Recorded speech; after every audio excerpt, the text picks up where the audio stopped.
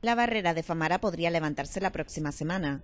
Así lo anunciaban hoy Pedro Sanginés y Osvaldo Betancor, que explicaban que hasta que el gobierno de Canarias no cambie el PRUG, no se podrá ejecutar el proyecto definitivo. Mientras tanto, la playa se abrirá a los coches siempre que costas del visto bueno.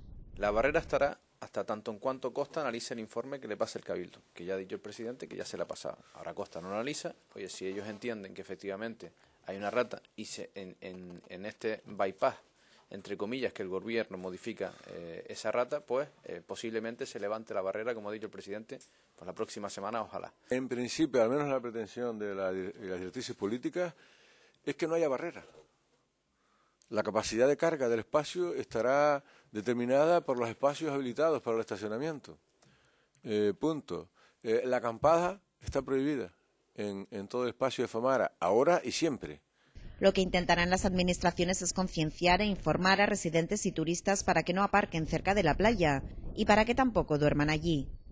Y es que durante unos meses no se podrá llevar a cabo el proyecto de colocar pivotes en la carretera, para lo que será necesario que se reconozca el error que se cometió en el Plan Rector de Uso y Gestión. No se trata de cambiar la norma para permitir el tránsito, se trata de restablecer la norma para darle el carácter autorizable que tuvo en su aprobación, en su primera aprobación definitiva y que así fue durante durante muchos, durante muchos años.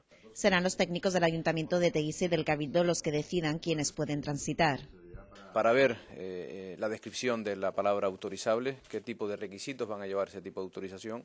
El Ayuntamiento de Teguise, una vez que ya tengan muy bien definido cuáles son esos requisitos, pues solicitaremos en, costas una concesión de temporada, como las tenemos en cada una de las playas del municipio, eh, única y exclusivamente para eh, temas de deportes náuticos. Ayuntamiento y Cabildo esperan que antes del verano se pueda ejecutar el proyecto y colocar los pivotes de madera a lo largo de una parte de la carretera.